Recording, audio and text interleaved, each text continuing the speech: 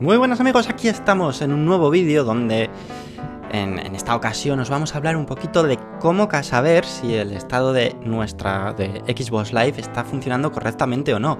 En muchas ocasiones eh, veremos que no funciona correctamente, no nos conecta a los servidores, no nos funciona alguna aplicación, etcétera. Entonces se puede saber eh, exactamente si es un problema nuestro, de nuestra conexión a Internet, de nuestra Xbox o si se trata de un problema generalizado. Para ello eh, tenemos que ir a la página oficial de Xbox. Eh, de nuestro país, en nuestro caso es support.xbox.com barra es-es barra xbox-live-status y eh, tendremos esta página.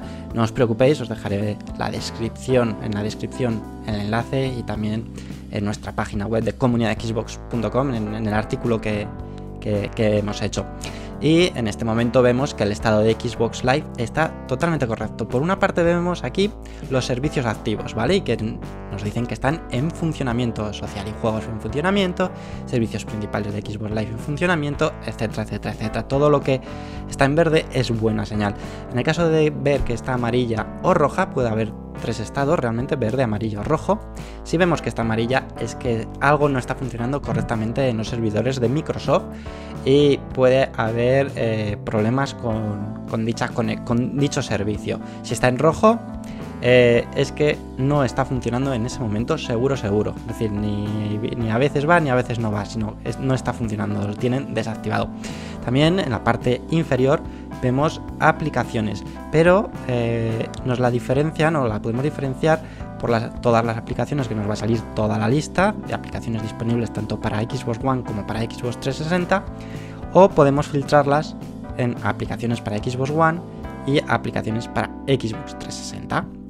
Lógicamente también podemos eh, ir buscando por orden alfabético. Aquí vemos, por ejemplo, si vamos a la T, que Twitch TV está en funcionamiento correctamente. O simplemente, pues en Xbox One vemos todas las apps para España que están funcionando correctamente.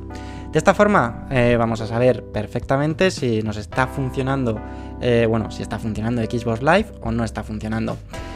Eh, seguro que en alguna ocasión habéis tenido estas dudas de, saber si era un problema de nuestra conexión a internet o no. Pues con esto va, a estar más que aclarado. Generalmente, lógicamente, como veis, eh, va a estar siempre funcionando. En muy pocas ocasiones deja de funcionar eh, algún servicio, pero puede darse.